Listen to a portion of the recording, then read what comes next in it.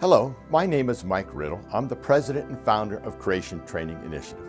Today we're here to talk about one of the great events in America's history, an event that we still celebrate today, July the 4th. Now, why do we celebrate July the 4th? Not because of all the family time we might have, not because of all the food and backyard barbecues we might have, also not because of all the parades we might watch, and also not because of all the fireworks and events that go on. These are part of the celebration, but they're not the reason we celebrate. We celebrate July 4th because it is the anniversary of our signing of our Declaration of Independence, our breaking away from the mother country England to form a new independent nation.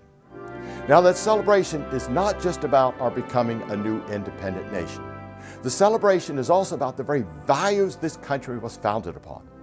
It is about the very rights and freedoms this country was founded upon. The events of that day, July 4th, 1776, were enormous because they changed the course of history. Our nation has a long and proud history. Sometimes we've been a nation in turmoil and we've made some wrong decisions. But we've always been a nation that has stood for freedom. Our flag is a symbol of the freedom our forefathers fought and died to preserve. One thing that has made America a great nation is that we've always been able to rise up unforgettable men and women in unforgettable times. Men and women who displayed courage, honor, and commitment.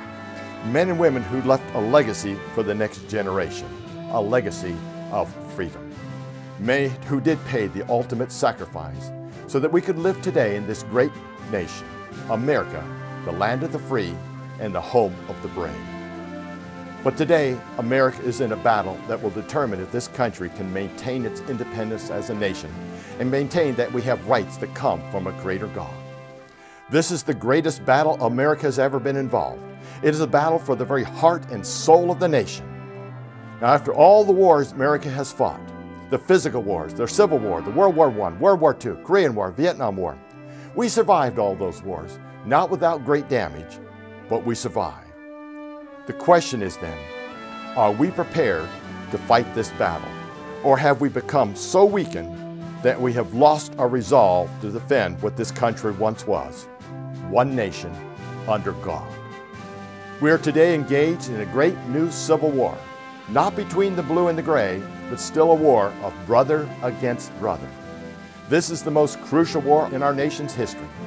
This is not a war being fought with guns and bombs. It is a war for values. It is a war of ideas.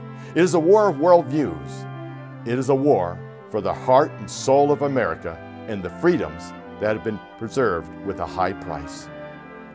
If America is to survive, we must hold on to the fact that we have certain unalienable rights that come from our Creator and that all men are created equal.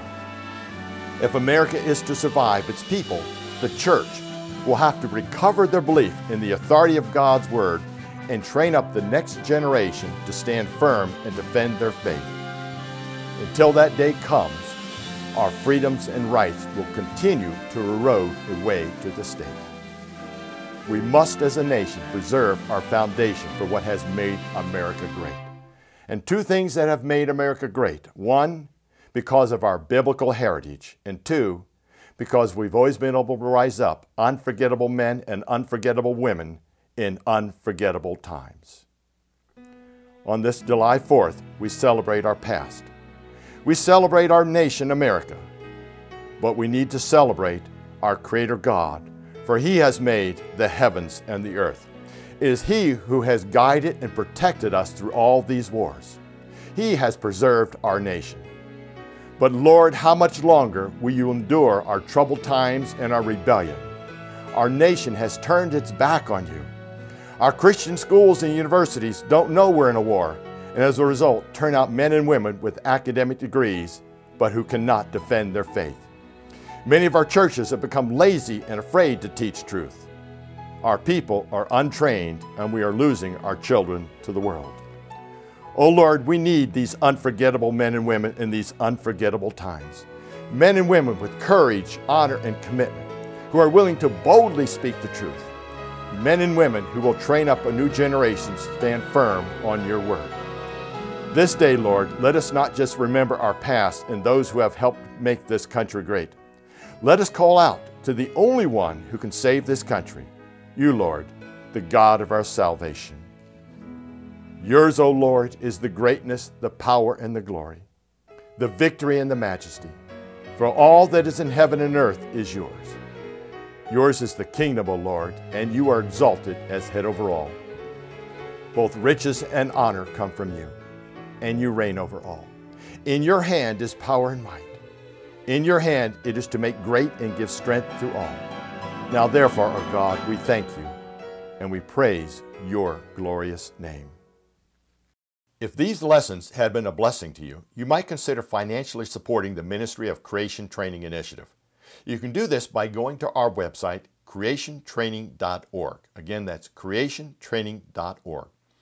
Your tax deductible donation of just $20, $50, or more a month, or a one time gift of any amount will make you an education partner in building an army of Christian educators who can teach the biblical account of creation and train others to be able to defend their faith and be biblically faithful to God's word as it states in 1 Peter 3:15.